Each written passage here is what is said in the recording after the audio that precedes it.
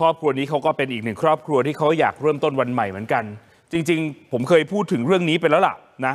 ณตอนที่หายตอนแรกๆเนี่ยถ้าผมจำไม่ผิด คนที่หายไปชื่อนกรา ค่ะแต่ทุกวันเนี้ยเรียกกันว่าบังนกละค่ะอะก็ไม่เป็นไรก็บังนกบังนกหายไปเรานำเสนอข่าวมาผมไปจัดออนไลน์ด้วยมั้งตอนนั้น ประมาณสักสองอาทิตย์แล้ว แม่เขายังรอด้วยความหวังทุกวันว่ามันจะมีปาฏิหาริย์ที่ลูกเขาจะกลับมา แต่ทุกวันนี้ไม่ได้มีเสียงติดต่อใด ๆ มาเลยว่า บางนกเป็นตายร้ายดี หรือไปอยู่ที่แห่งหนตำบลไหน หวังใจเหลือเกิน ปรากฏว่า อยากจะให้ตำรวจช่วยทางญาติก็เหมือนบ่นมาเหมือนกันบอกตำรวจส่งเป็นพิกัดกลับมา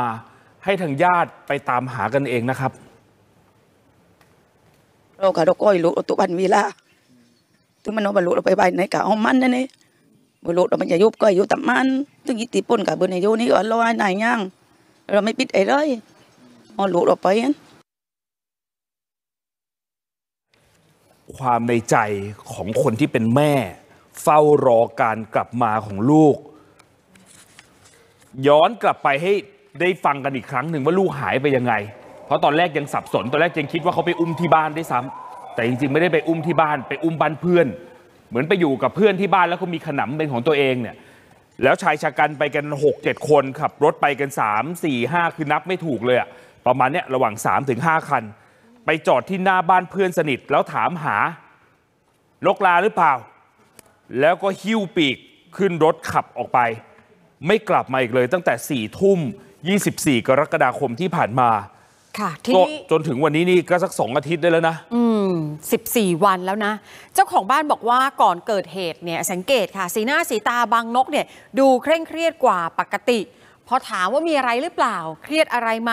เจ้าตัวก็บอกว่ามีเรื่อง แต่ไม่ได้เล่าลงลึกนะคะว่าที่เครียดเนี่ยกังวลใจเรื่องอะไรค่ะ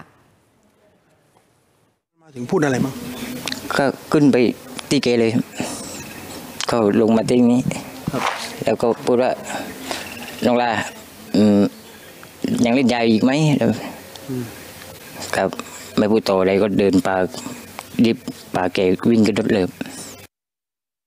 หลังเกิดเหตุปรากฏว่ามันมีเบาะแสอย่างหนึ่ง ว่าบังนกเนี่ยถูกอุ้มพาไปที่บ้านเช่า โดยหนึ่งในรถยนต์ที่บอกว่าบังนกเนี่ยนั่งอยู่ในรถคันนี้ รถคันนี้เป็นของผู้หญิงคนหนึ่งที่บังนกคบหาค่ะ ซึ่งข้อมูลตรงนี้เนี่ยมันสอดคล้องกับที่น้องสาวของบังนกบอกกับผู้สื่อข่าว บอกมีผู้หญิงคนหนึ่งชื่อแอนคบหากับพี่ชายเธอมาประมาณ 4 ปี กระทั่งเดือนก่อน มีโทรศัพท์ลึกลับโทรมาหาน้องสาวของบังนกนะ ปลายสายบอกว่าเธอเนี่ยให้ไปบอกพี่ชายว่าเลิกยุ่งกับแอน คือระหว่างตามหาพี่ชายเนี่ยไม่รู้ว่าเป็นตายร้ายดียังไงตอนนี้เนี่ยเธอบอกว่ามันมีเรื่องที่ทำให้เสียความรู้สึก คือตำรวจส่งพิกัดสัญญาณโทรศัพท์มือถือของพี่ชาย แล้วบอกให้พวกเธอไปตามหากันเอาเองค่ะควรเขาให้น้องส่งพิกัดมาให้น้องไปที่เขาใจสนบ้านข้างวัดสามโปเพื่อไปหา แล้วน้องก็กับญาติเข้าไปกัน แต่ก็ไม่เจอค่ะเขาให้เราไปหาเอง ใช่ค่ะเขาบอกว่ายังไงเขาบอกว่าเดี๋ยวถ้าเจ้าหน้าที่ไปอะกลัวผู้ต้องสงสัยหรือว่าพี่ชายจะไม่ออกมาอะไรแบบเนี้ยค่ะคราวเนี้ยก็เหมือนทางฝั่งญาติเขาก็คงน้อยใจว่าทำไมค่ะตำรวจโยนพิกัดมา แล้วบอกถ้ารีบก็ไปหากันก่อนเองเลยมั้งถูกไหมอืมก็ต้องถามตำรวจว่า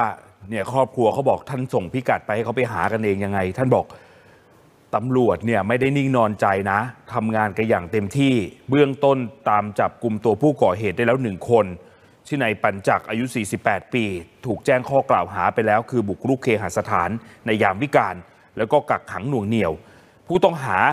รับว่าเป็นคนอุ้มบังนกไปจริง แต่ระหว่างกำลังเคลียร์ปัญหากันอยู่บังนกวิ่งหนีหายไปในความมืด ทางทีมสืบสวนตำรวจภูธรภาค9กำลังไปไล่หากล้องวงจรปิด ตามตัวอยู่ว่าเป็นจริงตามที่พูดไหม แล้วถ้าวิ่งหนีจริงวิ่งไปทางไหนนะครับ เราก็ได้ตัวคนที่พาไปนะครับ แต่ส่วนพวกของคนที่พาไปนั้นนะครับนะเป็นปรากฏชื่อเล่น ซึ่งตอนเนี้ยขออนุญาตที่จะนำเรียนว่าเรายังทำการสืบสวนติดตามตลอด แต่ประเด็นหลักๆ ก็คือประเด็นเรื่องของชู้สาวแล้วก็ยาเสพติดนะก็ได้นำเรียนทางญาติก็แล้วบอกว่านะไม่ต้องเป็นกังวลตำรวจบอกอีกว่าคนที่ร่วมขบวนการเนี่ยเข้าใจว่าตอนนี้น่าจะหนีจากพื้นที่พัทลุงไปที่สงขลาอยู่ระหว่างการตรวจสอบพิกัดที่แน่ชัดนะเอาก็ฝากฝากด้วยเนาะครอบครัวเขาก็เป็นห่วงว่าค่ะเขารอคอยลูกเขาอะ นะตอนที่ผมไปตอนนั้นเขาก็ไปคุยกับไปเข้าสายคุยกับทางครอบครัวเขาอะเขาก็เป็นห่วงเป็นใยกันว่าไปไหนเป็นยังไงบ้าง ขนาดถามเรื่องของผู้หญิงเนี่ยที่บอกว่าผู้หญิงชื่อแอนไหมนะที่คบหานะ อะบอกคบหากันอะเคยมาที่บ้านเนี่ย มาบ้านพ่อบ้านแม่เนี่ย ยังไม่ลงจากรถเลย เห็นผ่านๆนั่งอยู่ในรถ ไม่ได้รู้จักมักจีแบบค่ะ เคยพูดคุยอะไรไม่เคยนะก็เดี๋ยวลองดูเชื่อว่าตำรวจก็คงช่วยกันอย่างเต็มที่นั่นแหละ แต่ว่างานมันก็อาจจะเยอะนิดนึงค่ะ